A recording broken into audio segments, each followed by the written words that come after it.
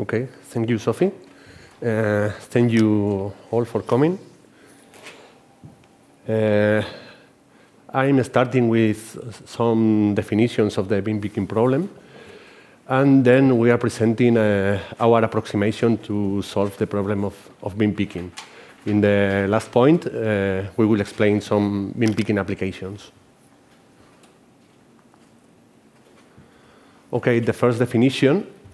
In the vision guide robotics context, uh, random bin picking is the ability for a robot to pick objects. These objects are random, randomly distributed uh, in a container with no restriction in, in, its pose, in its translation, or in, in the rotation. The objective is to place the, the objects in the next machine or tooling or something like this. The goal is to measure XYZ roll pitch yaw of the object with the six degrees of the freedom. We have no restriction in the, in the pose. The problem with the, with the random bin picking is, is that the objects can be uh, very close together. They can be overlapped or they can be even tangled between them.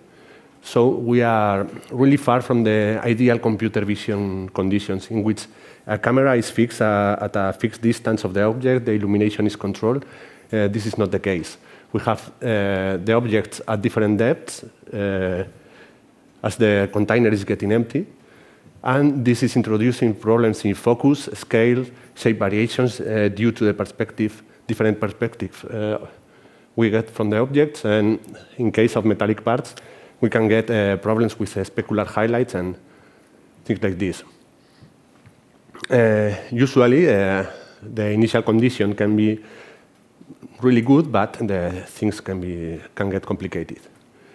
Uh, usually, the, the bin picking problem can be, can be solved if we apply some restrictions. Uh, that's it, uh, to develop a, a, software only for this part.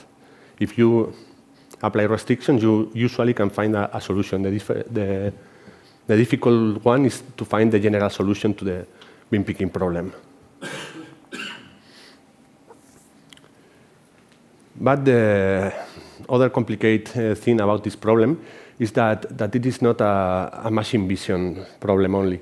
It is a joint problem of machine vision and, and robotics because we have uh, to move the robot and we have to avoid the collisions with the environment, the container, and the other objects, which are not the, the one we are picking.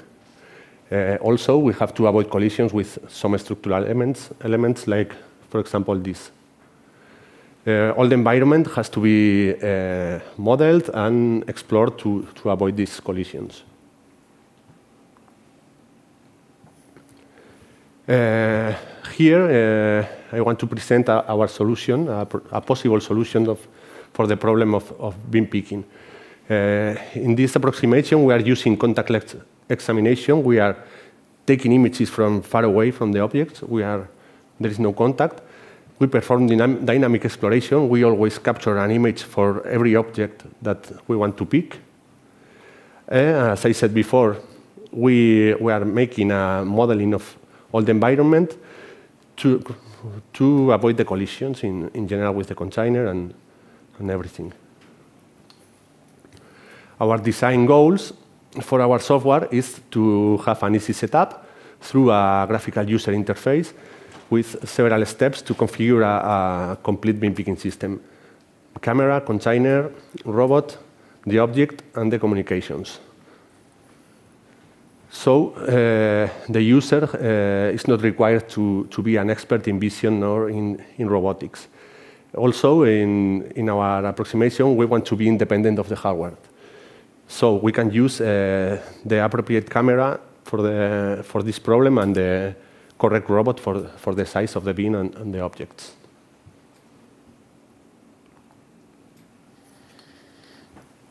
Okay, behind the, the graphical user interface, uh, for us, the bin picking problem is a matter of coordinate systems. We have uh, several coordinate systems which are relevant in the bin picking problem, which are uh, in this list.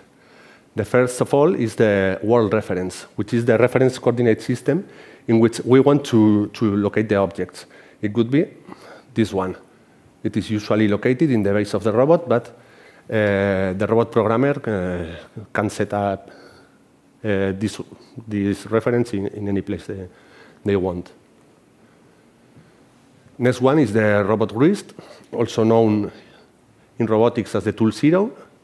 This one is the robot wrist in the, in the last link. Sorry. Uh, the next relevant coordinate system is the tool, also known as TCP, the hand tool or TCP, which is the, the end effector of the, of the robot. In these pictures, the TCP of this tool, this is a magnet. The TCP would be located in the center of the magnet. In this case, we, we have a two-finger gripper, and the reference of the, the, coordinate system of the, of the gripper would be in between the, the two fingers. Next, we have the object reference, which we usually set in the center of the object for practical reasons. Uh, following, we have the grasping points, which are, which are always expressed in the, in the reference of the object. Uh, we are using, in general, a minimum of two grasping points, one from the bottom, bottom face and other one from the, from the, one from the top and one from the bottom face. The next relevant coordinate system is the camera coordinate system, which is here. We can use a, a static camera, usually uh, over the container, or uh, a camera fixed in the, in the robot hand. Uh, this coordinate system is coincident with the camera's optical center. In case we, we are using a stereo system, then mm, the reference is usually in the optical center of the left camera. And the last relevant coordinate system in the bin picking problem is the bin itself. Uh, by bin, we are really meaning the many different uh, recipients. For example, box, it can be a, a belt, a blister, a table, or a pallet. We have different, different versions. Usually, the coordinate system of the, of the container is, is set in the center, in the center of the container in the bottom with the set pointing, pointing up. Uh, our approximation works in, in six different steps. The first step is the acquisition, then filtering, object detection with six degrees of freedom. Then we compute the grasping points for the objects, compute the, the collision risk to avoid the collisions, and the last step is to send the coordinates. Regarding the, the acquisition, we are using, in general, 3D sensors, uh, specifically a point cloud that can, can came from stereo, passive stereo vision, projected texture stereo, uh, a fringe projection sensor, uh, with mobile, mobile conveyor belts, we are usually using laser triangulation.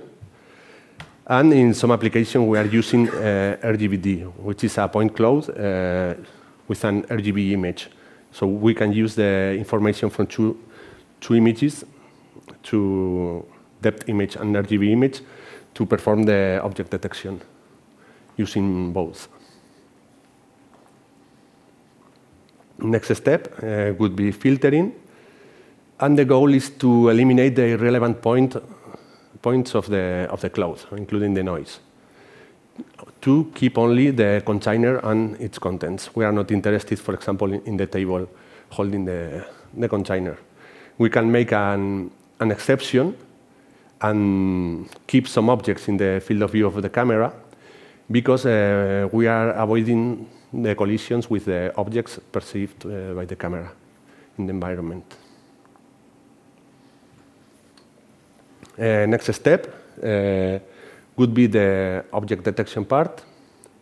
In, in this part, uh, we have a, a, collection of object detection uh, algorithms. Uh, each algorithm is different and is chosen based on the, on the application and the conditions of the object to be, to be detected. And if necessary, uh, we can even customize the, the object detection algorithm. We are not, uh, we have no a, a single object de detection algorithm. For example, we can estimate the 3D pose from 2D features, for example, like the holes in, this, in these metallic parts, using uh, a single 2D sensor. Or we can estimate the, the localization of the objects using the, the contours and to get the, the 3D pose of the objects. Or uh, we can use uh, surface-based matching uh, from point clouds and based on CAD models. We, we can use techniques which, uh, which would require the CAD model or model-less approximation, where we don't need a, a model to, of the object to, to be picked. Next step would be to, to get the, the suitable grasping points.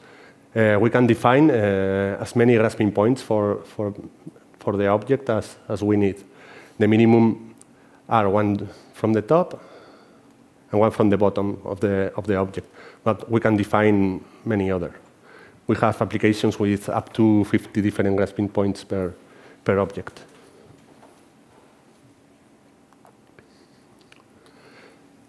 Then from all the available grasping points, uh, we perform the collision avoidance.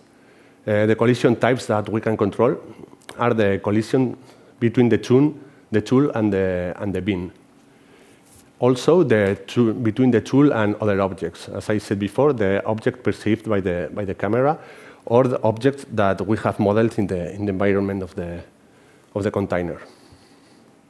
Uh, and also the collisions between the tool and the uh, scene objects, and uh, including the, the other objects.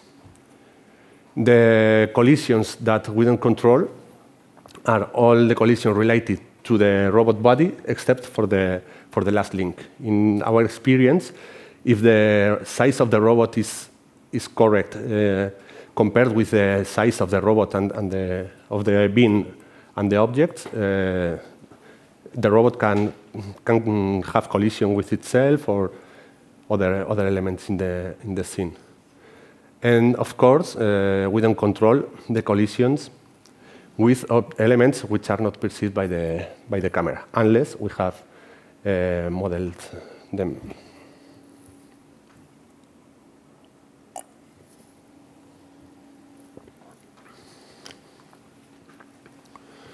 Okay, last step would be to, to send the coordinates to, to the robot. We want to send the robot this transformation, which is the position of the grasping point with respect to the robot reference.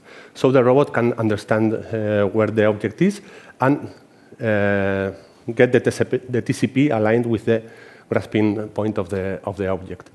To do this, we have this, this transformation, which defines the location of the camera with respect to the world reference, which is a, a calibration. This is configured uh, using our graphical interface. This is given by the object detection algorithm, and this is also configured using our software, which is the grasping point with respect to the object reference.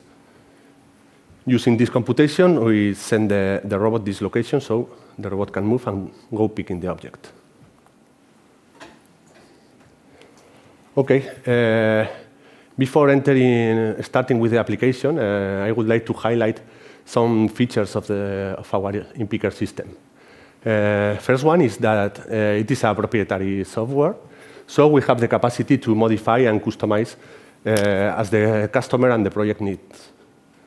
We are independent from the hardware. We can use uh, many models of cameras and many models of robots. So uh, we can adapt uh, better the pricing for, for the customer needs. And, and the kind of object, sites, and so on. We have the possibility of using an static camera setup or in-hand camera setup. Uh, we have a friendly interface uh, and easy programming for, for the general cases, and we have documented success cases in, in many countries. Uh, we, we can use different matching possibilities, uh, some based on the CAD model or model-less approximations for objects that, for example, that don't have a, a CAD model, for example, fruits, vegetables, or something like this. And we have also the possibility of using the deep learning algorithms if, if needed. We have developed some, some applications using deep learning too.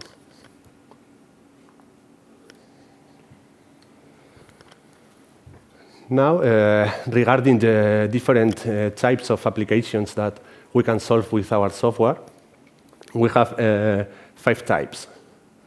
The first type is the general case, in which the objects are randomly arranged in, in the container. With, this is what we call the random bin picking. We have another type, which is arranged bin picking, which uh, in the beginning, the, the objects are, are well arranged in the container, but uh, as we, we have seen before, the things can get complicated as, as we are emptying the container. Another typology is uh, what we call the unit picking. This is the case in which uh, we have only one object in the, in the field of view of the, of the camera, and we want to, to perform a high precision picking of, of that single object.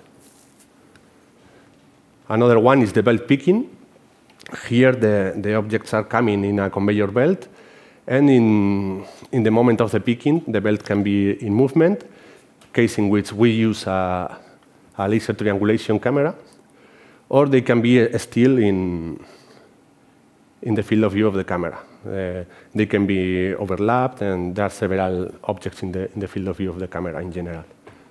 And the last typology is the rack picking. In this, in this version of the bin picking problem, the objects are always more or less in the, in the, same, in the same position. So the variation in rotation and translation uh, is being small, small variations.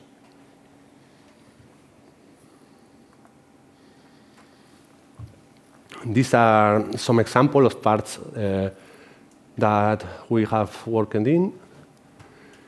These are plastic parts, for example.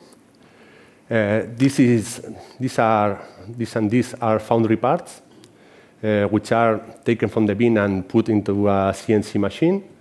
Uh, these are stamping metallic parts. Uh, it's the, a very common, common object in the automotive sector. Uh, and these, for example, are, are part of an, of an electric motor, of the stator, I think.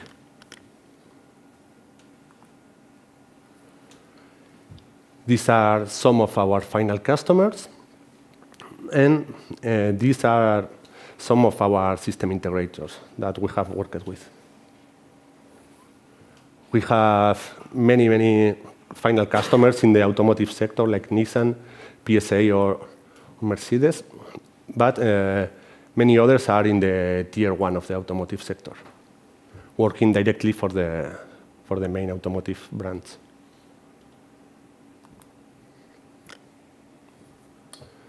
And that's all. So thank you. If you have any questions. Thank you.